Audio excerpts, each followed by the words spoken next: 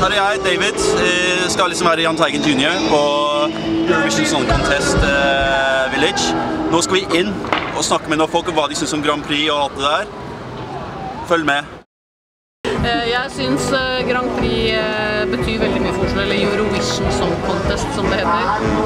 For du ser jo her masse mennesker kommer eh, tilreisende fra mange forskjellige land. Forutsatt Norge og Oslo på kartet. Så der har Rybak gjort en god jobb. Gøy. Jeg skal se på finalen. Jeg gleder meg veldig. Ja, hvem er, hvem er favoritten din? Didrik. Det er Didrik, ja. Mil etter mil etter mil. Mil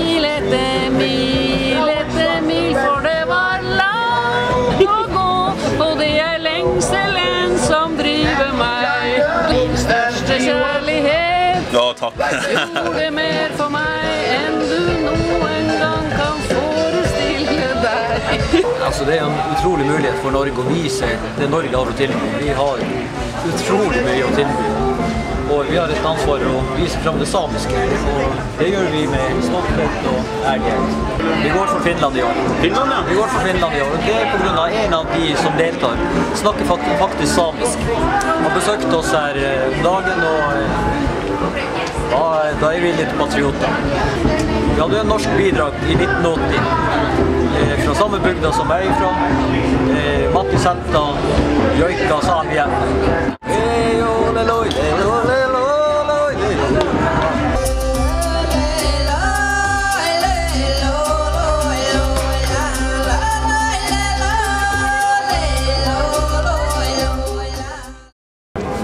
Hey, ole, loi, le, ole, lo, loi, le, lo. Uh, I'm with friends and we are here because we like Eurovision from years and years.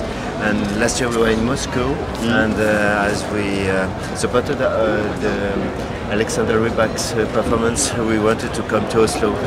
Okay, so it was your favorite for last year. Ah yes, it was. Would you think of Bobby Socks? Uh, Bobby Socks, of course. and Nocturne, Nocturne, I liked very much Nocturne.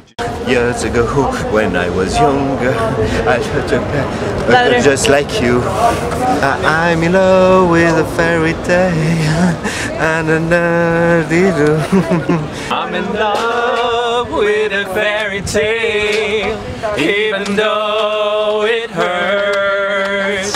I don't care if I live my mind. Already.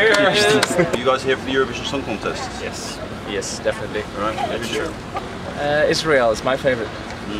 I have the German intro as my favorite. Are Eurovision fans crazier than normal fans? I would say yes. I think they're more addicted, not crazy. Okay.